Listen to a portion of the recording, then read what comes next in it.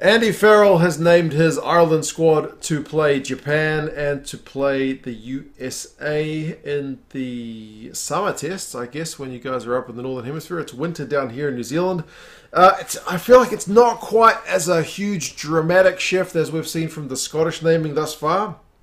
It's maybe a bit more like the Welsh side in that there's a kind of good, even mix of youth and uh, experience uh, the English side we've seen named by Eddie Jones thus far is very youthful, but remember he doesn't have access to four of the teams as yet. So we'll go through the guys. You can let me know who you're particularly excited to see.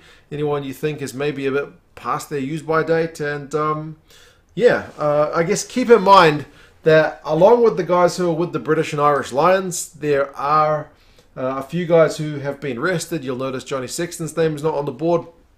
He's been given a bit of a break uh, Keith Earls, Cian Healy. So there's a few guys who've been there and done it who will benefit from a proper proper break to get any niggles kind of under control. But there are a few debutants and a few guys also who are kind of, you know, veterans in their own right. Uh, Heffernan, Herring, and Kelleher, there's kind of no real surprises there at hooker, I would have thought. Um, two guys in their 30s in the first two, and then Kelleher is the young gun, but he is off with the Lions at the moment, assisting them with their training, not as part of the squad, but helping out because they don't have access to Cowan-Dickie and George yet because those guys are still with their club teams. So uh, yeah, I guess that's that's kind of no surprises. That's what I'm talking about. There's not some real left field pick there as far as I'm concerned. Uh, props. Bealham, Byrne, Dooley, Kilcoyne, O'Toole, and John Ryan. So O'Toole's the youngster there at 22 years old. He is uncapped. Likewise, uh, Dooley is, is 26, but also uncapped. All the other guys have kind of been there or thereabouts thus far. I mean, Dave Kilcoyne's a proper veteran. So uh, I mean, you guys closer to the Irish team will let me know if there's anybody else who you think was maybe close, but that seems to seems to kind of work uh, as well in terms of guys who've got you know single digit or low double digit. Like Bealham has been floating around for quite some time, 14 caps. Ed Byrne four caps at 27. Um, but yeah, it'd be interesting to see if O'Toole gets any game time.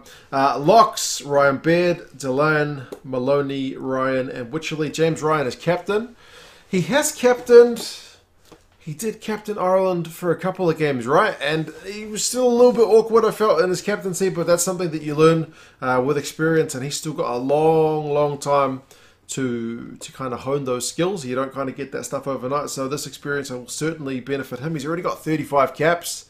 He's only 24 years old. He feels like he's been around forever at this point. James Ryan, he'll be obviously disappointed to miss out on the Lions, but kind of his own you know health and stuff didn't uh, wasn't that conducive in the build up anyway. So yeah, he'll be looking to put his best foot forward.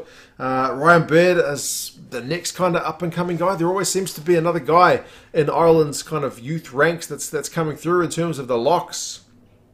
He's certainly that. I saw his wonder try the other day. That was all over social media, quite rightly so. Bit of a spinorama. Um, but yeah, he's only 21, so heaps to come from him. Uh, obviously, no Quinn Roux because he is off uh, overseas. I think once his contract is up, so it's a chance for Ross Molony um, and Fineen Wycherley. So yeah, it'll be it'll be interesting to see. I guess um, how the second row kind of lines up without Iain Henderson uh, in the ranks. Loose forwards: Boyle, Coombes, Doris, O'Mahony, Timoney, and Van Flier. So again, uh, you got hugely experienced guys uh, with uh, Peter O'Mahony there. And uh, Josh Van der Flier has been there or thereabouts for a long time as well. Massive work rate on him. Very good guy to watch. But then you got Boyle, Coombes, and Timoney who are uncapped, and Caelan Doris who's had seven. Doris is another guy who's had his own kind of issues with think it's mostly concussion with him, isn't it? That's kind of kept him out for a little while. Uh, Coombes is the guy I'm most excited about. Uh, people have been talking him up to me for quite some time, and whenever I watch him, he just seems to be in absolutely blockbusting form. Obviously, CJ Stander uh, has retired, so if you guys need a guy to step up, I feel like Coombes is uh, is maybe a pretty good guy for the job. He is just absolute dynamite. Um, I can't comment too much about Paul Boyle. I feel like I've seen him play, but not enough to really know his game. Uh, I mentioned Van der Flier with his tackle rate, Peter O'Mahony. Um, oh, Doris is a, a, real skills man. So, yeah, it's a good mix. Timoney I've seen play for Ulster as well. Seems to get through a few tackles too. So how the back row lines up will be one to watch. I am uh, keen to see what um, what career Andy Farrell can come up with. Uh, scrum halves is maybe the main one, which seems to be a point of contention with Ireland fans. You got Blade, Casey, and Gibson Park. Nobody's got 10 caps to their name. Nine for Gibson Park, one for Casey, and none for Blade. So he's been called into the side. Apparently, he's been having a pretty good Rainbow Cup from what I have read. Uh, 27 years old is a relatively late call up for a scrum half, but if you're in form, it's good to see they get rewarded. Uh, Casey, though, is the guy that everybody is pretty excited to see, I believe. Uh, he's another one that seems to have pretty uh, pretty good press about him. And when I've seen him play, passes a proper bullet. There's only a few guys who play nine who, when you see them pass the ball, it looks it looks proper, just proper zippy. And uh, Casey seems to be one of those guys. Um, they talked about in the press conference why McGrath uh, maybe wasn't selected. Cooney, Cooney, I believe, is injured, and um, McGrath.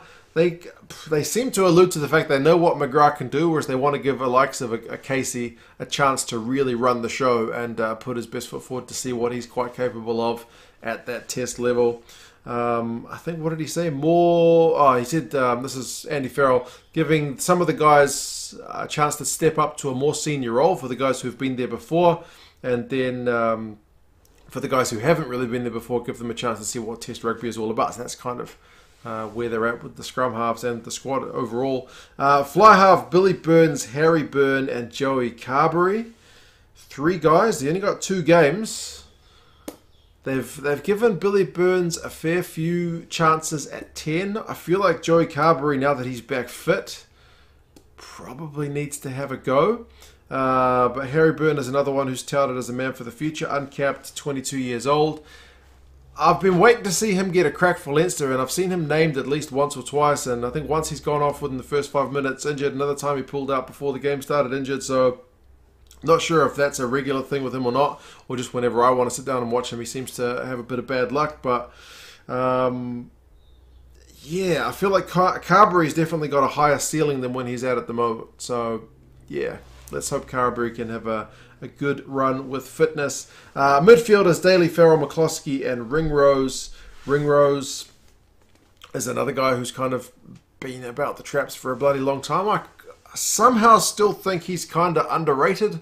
I don't know why. Um, people seem to give him a bit of stick from time to time he's got a huge skill set. Uh, McCloskey's a big unit, Farrell's a big unit, and uh, Tom Daly's the uncapped guy, uh, 27 years old. Gets his chance to put his best foot forward with the absence of Aki and Henshaw opening that that wee door for him to step through. But again, none of those guys are under 26, so it's not a hugely inexperienced midfield. Outside backs, the most probably um, happy I am is Robert Baloucoune. I remember seeing him for Ulster a couple of years ago, and the dude, a bit of a lanky chap from what I remember, but he seemed to have a bit about him, just that something kind of X factor. And then I've asked people where he's been at, but apparently he's been injured for quite some time. So good to see him get a chance uh, with Ireland. Conway is another guy, speaking of underrated, who I still think doesn't get a fair crack. Um, the fullback question will be an interesting one because they've tried Stockdale, they've got Larmour. Addison's a guy who I'd like to see get a go, but Keenan has had that jersey to his own recently and he has looked phenomenally safe under the high ball. Um, he's, so, he's kind of like, because he's not the tallest guy, he looks like he shouldn't be as good as he is. But, um, it's a plane flying over my house. Uh, yeah, Keenan has been really impressive. So, yeah, it is an interesting one. So no Cooney injured, Stander retired, Roux off overseas. Um, I think Eric O'Sullivan's done his shoulder. There's no Luke McGrath, no Carty, no Ross Byrne. It's an interesting mix. Only the two games. They'll be wanting to get a wee bit of revenge on Japan, undoubtedly. Uh, I am keen to see how some of these guys line up. I'm desperate to see the likes of Casey get some proper minutes. Likewise, Gavin Coombes, um, John Ryan, John Ryan, James Ryan as captain to see him with his leadership skills kind of developing. Uh, Baloucoune, I'd like to see him get some proper minutes as well. But I guess we'll have to wait and see how Andy Farrell goes. Does he go with a slightly more conservative lineup because he does have the experience in the squad? Or does he kind of really shift things up maybe for the USA game? But anyway, you guys let me know your thoughts. Who do you reckon is going to start 10? Um, and uh, what do you think of the squad? who else are you kind of keen to see get a crack that maybe didn't quite make it? And um, yeah, I'll talk to you guys again soon. See you later.